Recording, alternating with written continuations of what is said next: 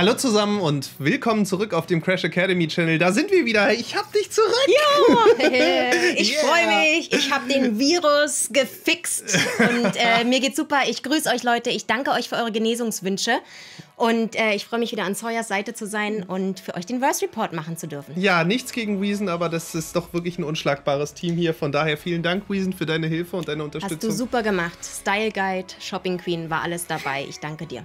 Sehr gut. Und ich würde sagen, wir hauen jetzt gleich mal rein mit unserem Hot Topic diesmal. Ganz genau. Mhm. Und zwar äh, am 14. Februar, Valentinstag, wird zu, normalerweise zusammengeführt, was zusammengehört.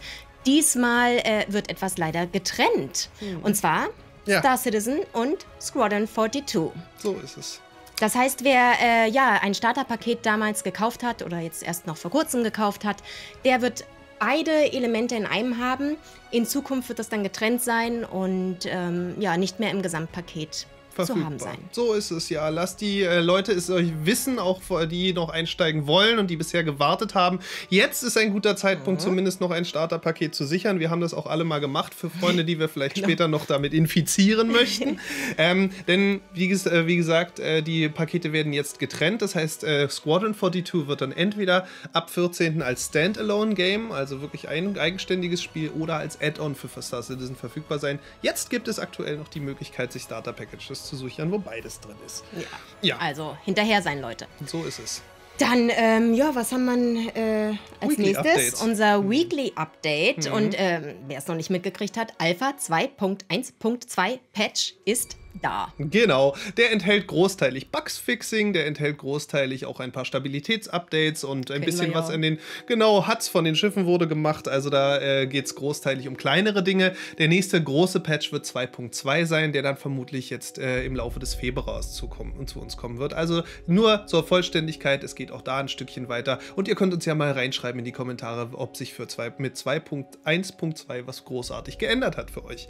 Und ja, was hast du als nächstes für uns? Äh, als nächstes habe ich zehn Fragen ähm, an Chris Roberts, die gestellt wurden. Und eine Frage war davon, die, die werde ich irgendwie auch immer wieder gefragt. Also wie ist das eigentlich? Äh, mein PC, ja, meine alte Kiste oder überhaupt mein normales System, wird das äh, irgendwie ausreichen, um dann Star Citizen spielen zu können? Oder brauche ich ein High-End-PC-System? Ja, und da haben sie ganz klar gesagt, also es ist noch nicht optimal alles, ne? Äh, also noch nicht alles optimiert, aber sie streben dahin, dass man kein High-End-System am Ende braucht, um es spielen zu können. Genau, Was richtig. schon mal super ist. In den Details kann man noch dazu sagen, momentan geht äh, Star Citizen großteilig über den CPU. Das heißt, äh, euer CPU wird sehr belastet durch das Spiel. Das wird in der Zukunft zum Beispiel besser werden, dass die GPUs, also auch die äh, grafischen Prozessoren, mehr zu tun haben. Momentan sitzt der auf meiner GeForce noch rum und langweilt sich, aber das wird sich dann hoffentlich bald ändern. Dadurch wird das ganze System ein bisschen optimiert. Ist nur einer von den Schritten, die sie machen wollen. Da ist auf jeden Fall noch eine lange Reise. Wir wollen hoffen, dass sie es relativ bald schnell in den Griff kriegen, damit viele Leute die Möglichkeiten haben zu zocken. Ja, wie ging es dann weiter? Ich habe jetzt hier auf der Liste die Repara das Reparatur-Gameplay. Ganz ne? genau. Richtig, ja. Das war ein sehr, sehr spannender Punkt, denn da geht es darum, dass, die, äh, dass ihr selber in Zukunft an Bord eurer Schiffe auch im Kampf Notfälle in den Griff kriegen könnt, Reparaturen durchführen könnt. Das soll alles natürlich passieren und äh, es soll dann auch möglich sein, dass zum Beispiel der Captain selbst Kontrollen abgibt an äh, seinen Ingenieur oder dass eben andere Leute damit beauftragt werden, die entsprechenden äh, Aufgaben auszufüllen und von dort aus geht es dann so weit, dass man auch wirklich Rohrleitungen und äh, Sicherungen und den ganzen Kram an Bord wirklich live austauschen kann. Wenn dann eine Sicherung durchfliegt, weil der hintere Kanonenturm funktioniert nicht mehr, dann kann man das halt inzwischen dann wieder äh, reparieren. Und die erste Implementierung dieses Systems dann aber erstmal für persönliche Gegenstände, also alles. Oh ja, ein Schraubenzieher Genau. zum Beispiel, ne? Genau, was ihr am Körper tragt und ähnliches, die wird es dann mit dem System äh, für den Patch 2.3 geben. Das heißt, es wird auch nicht mehr so lange dauern. Da wird es dann so Stückchen für Stückchen für Stückchen eingefügt. Bin ich ganz gespannt. Ja, und dann äh, gab es noch ein bisschen was zu Star Marine. Genau, Star Marine. Die elende Frage für Chris Roberts. Ja, was ist denn jetzt damit los? Ist das gecancelt oder nicht? Und ähm, er hat relativ gefasst äh, darauf geantwortet. Schaut einfach mal rein. Genau. Und äh, meinte, nein, es ist nicht gecancelt.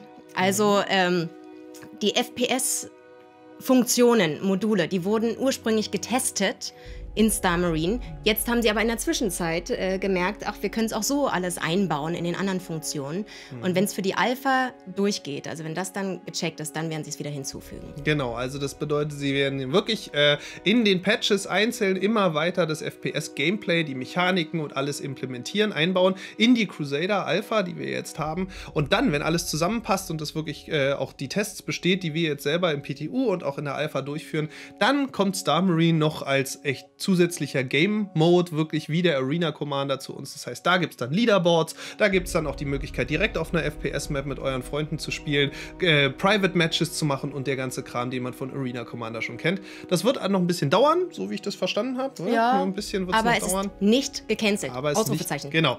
Sehr gut. Äh, so machen wir das. Und äh, ja, gehen von da aus mal weiter zu Around the Verse. Genau. Das war dann die Episode ähm, 16 der zweiten Staffel. Ja, Gruppen- und Lobbysysteme. Ja. Dein Steckenpferd hier. ja, ihr wisst alle, wir, äh, wir hadern alle mit dem Lobbysystem, wie es momentan ist, äh, auch das Gruppensystem. Ähm, sie werden weiter daran sitzen, das ist ganz hohe Priorität. Da gab es auch dann wirklich eine Info dazu, dass es dann nämlich mit den nächsten Patches schon eine Verbesserung geben soll, wo gerade insbesondere das Gruppensystem verbessert werden soll. Das heißt, man lädt sich zusammen in eine Gruppe ein im Spiel, in, in, in eine Party und dann soll es von dort aus einfacher sein, gemeinsam als Gruppe auf eine Instanz zu kommen, als es jetzt momentan möglich ist. Das heißt, es ist für alle von euch da draußen, die jetzt gerade versuchen, mit ihren Freunden raufzugehen, vielleicht eine ganz wichtige Info, ja. Ähm, ja, und dann ging es weiter mit dem nächsten spannenden Planeten, ne? Ganz genau, Hurston. Und zwar, äh, ja, die Whitebo Whiteboxing-Phase ist abgeschlossen. Mhm. Und jetzt mhm. arbeiten sie an den Shops, also Kleidung, äh, Schiffswaffen. Also das ist jetzt gerade in Arbeit, also könnt ihr euch drauf freuen. Hm, ja, so ist es. Denn Hurston ist ein ganz, ganz großer Schiffswaffenhersteller. Das heißt, da werden wir wahrscheinlich ja so eine Art Store sehen, wo die ganzen Dinger dann ausgestellt ein Showroom. sind. Genau, das ist, glaube ich, dann, ähm, wenn man so möchte, so ein bisschen Wiesenporn, könnte man sagen.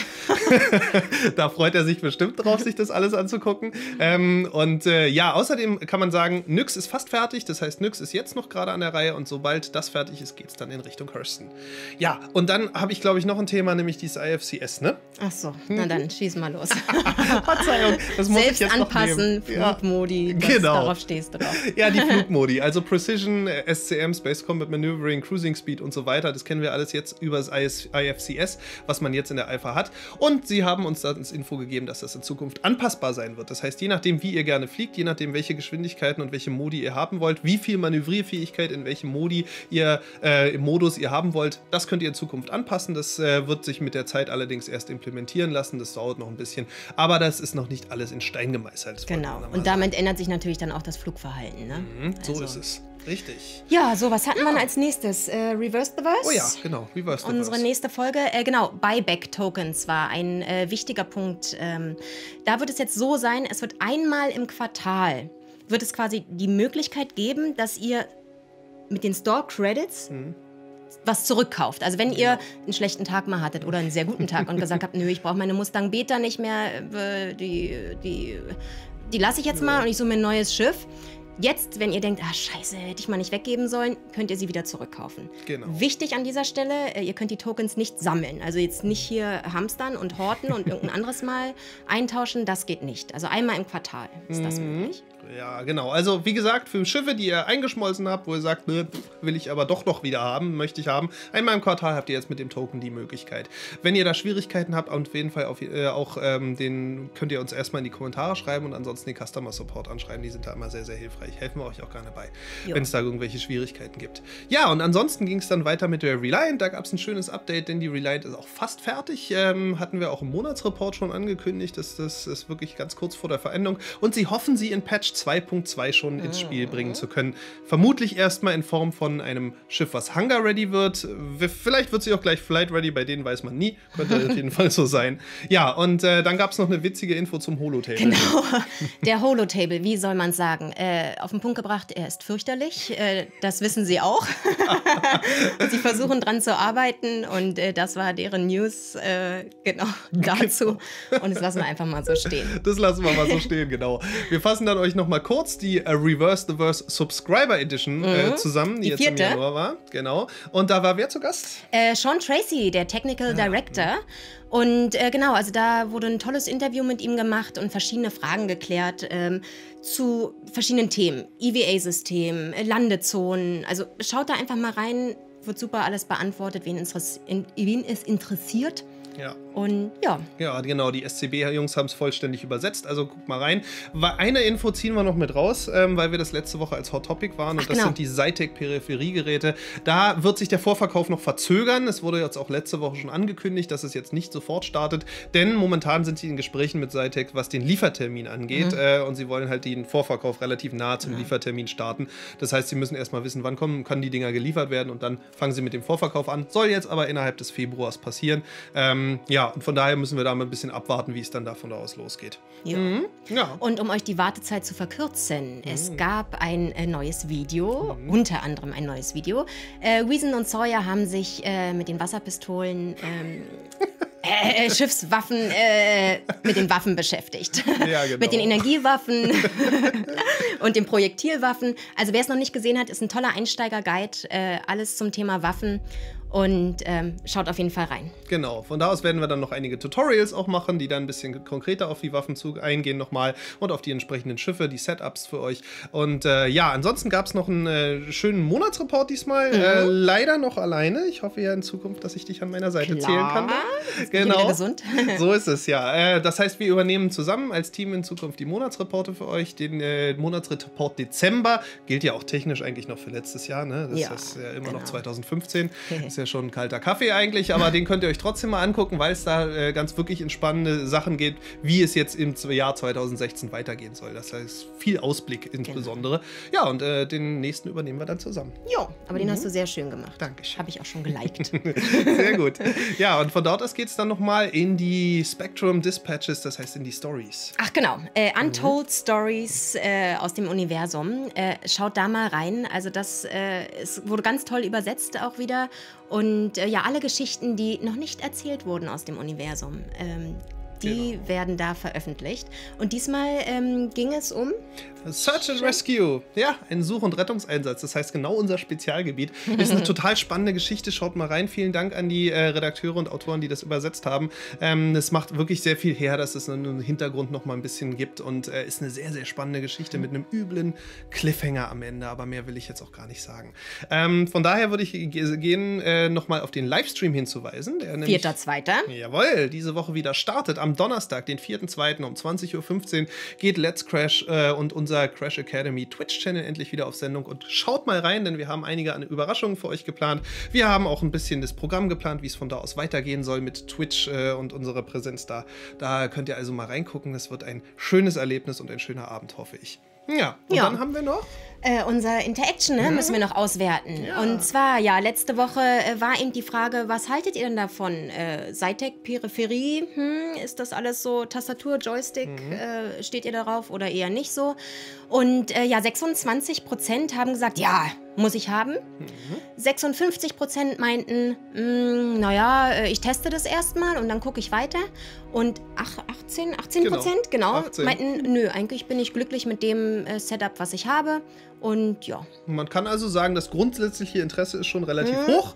Ähm, man kann das verstehen bei der Firma Cytec, äh, dass man das gerne testen will, muss man ganz ehrlich sagen. Ähm, wir haben sehr wechselhafte Erfahrungen gemacht mit dem Cytec Setups, die es bisher gibt. Also da gibt es einige, die sind sehr begeistert. Es gibt auch viele, die sagen, nicht so meins. Also von daher, ich glaube, testen ist da eine vernünftige Variante ja. bei sowas. Ähm, das ist ja auch nicht ganz günstig, das alles. Wir werden mal gucken, wann es dann überhaupt rauskommt. Ja, das war ja. auch irgendwie noch nicht klar. Genau, so ist es. Ja, in diesem Sinne wirklich wirklich schön, dass du wieder dabei bist. Ja, danke. Auf die nächsten Wochen. Oh, ein bisschen aufregend so, ja, ne? da sind wir wieder on, genau, wieder on the air so. Und äh, ja, vielen Dank fürs Zuschauen. Äh, liked uns, disliked uns, schreibt uns vor allem viel in die Kommentare und äh, sagt uns, was ihr für Feedback für uns habt. Und ansonsten, wenn ihr uns ganz besonders unterstützen möchtet, dann abonniert bitte den Channel, das hilft uns in erster Linie. Und wenn ihr wirklich was für uns tun wollt, dann geht doch mal auf unser Patreon-Profil und schaut genau. mal nach, was euch da so gefällt. Ja. Gut. Gut. In diesem Sinne würde ich sagen, in diesem Sinne. wir verabschieden uns jetzt mit der ersten Folge mit dir in diesem Jahr. Gemeinsam mit einem 3, 2, 1. See you on the flight deck!